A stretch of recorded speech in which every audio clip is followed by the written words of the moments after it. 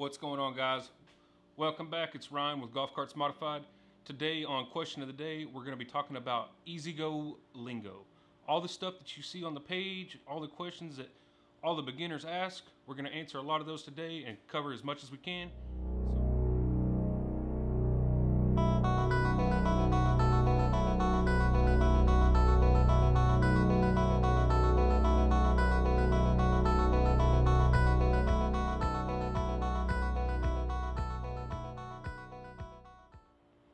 All right, guys. So some of the lingo you're going to hear on the page for E-Z-GO TXT is what kind of drive system does it have? Is it a DCS? Is it a PDS? Is it a series?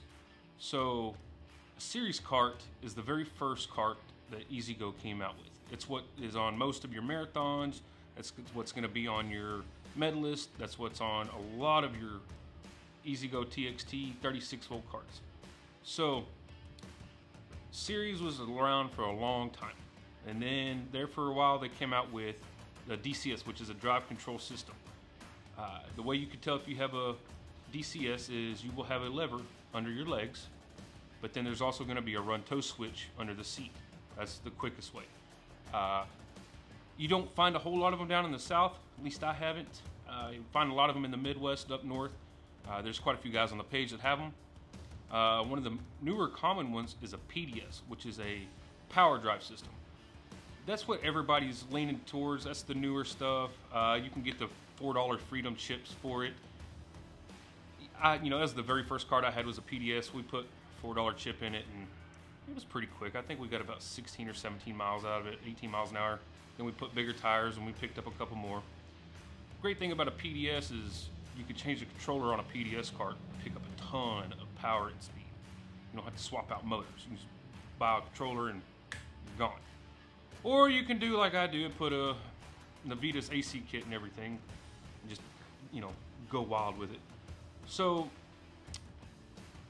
if you have a series cart, you're gonna have a lever under your legs and there's not gonna be a run tow switch. It's the easiest way to look for it. Second, drive control system, DCS. Still gonna have the lever under your legs with a run tow switch. PDS. PDS is gonna have the rocker switch. That's what goes on your dash. Sometimes you'll find them between your legs. Most of the time they're on the dash. And you'll have a run toe switch. Those are the three, that's the easiest ways I can tell you guys to look to see what kind of cart you have. This way when you're ordering parts and somebody says, hey, what kind of cart do you have? You can say, I have a E-Z-GO 2002 or up PDS, or I have a 99 series cart, or I have a 99 DCS cart. So those are the easiest ways.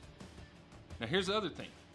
Here's another lingo term that you're gonna hear a lot is asking, what does it have a three bolt steering or a four, four bolt steering? So if you have a three bolt steering cart, that is an older cart, uh, the best way to tell is you can look right there at the bottom of your steering column. There's gonna be three bolts. I keep looking at my hands. There's gonna be three bolts down on the floorboard. Uh, that goes to a big steering arm, and then you've got rod ends that push the tires in and out. Uh, it's an older way. There's nothing wrong with those carts. They're a little bit harder to steer. Uh, building custom suspension for them is kind of hard sometimes depending on what you're going for. If you're trying to build a big, huge cart like the War Machine or like Travis's cart that's on 40s, uh, three volt carts are really, really tough to, to get to steer right. The ones that we normally build are four bolt steering carts. Witcher is a newer cart that actually has a rack and pinion setup in it. It's a lot easier. And uh, Jolly's Junkyard cart, it's a four bolt cart. Uh, the War Machine was actually a three bolt cart that Corey actually converted for me to a four bolt cart. So if you're in the market and you're looking at a T TXT, the carts that I like to buy are PDS carts and four bolt carts. That doesn't necessarily mean the other ones are bad. I've had those too. I've built those. I had lots of fun with those.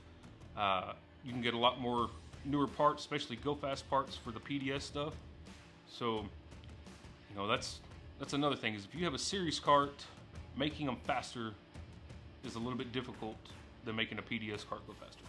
So stay tuned. We're gonna have that in another video. We'll talk about that. Uh, I haven't been on YouTube for a while. I've been crazy busy. not anymore. Now we're gonna focus strictly on YouTube, so stick with us.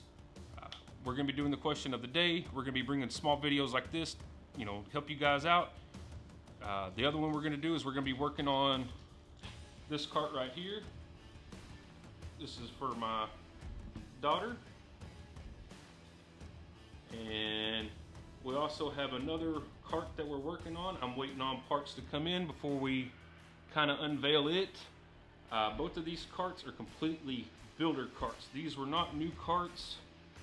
These were carts that I got out of a junkyard and they were rough. So stick with us. If you're not a member of Golf Carts Modified, check us out on Facebook. We have one of the largest Facebook pages for golf carts. Uh, we also have the 2020 build off going on. Uh, that is actually, we are almost fixing to close that out. Uh, these guys have until December to get these carts done. Uh, it's going to be some pretty awesome stuff. We got quite a few guys in the nuts and bolts class, a bunch of guys in the modified class, and three or four guys in the super mod class. So stick around. Also check us out on Instagram. Be looking out every day. We're going to be dropping videos of questions of the day, plus all the new build stuff. I am going to Florida this weekend, and I will be shooting video while we're going. We're taking the War Machine to its new owner, so we'll be filming while we're doing that. We're going to stop off at a couple places. It's going to be pretty interesting. Should be fun. Stick around, and remember, go modify.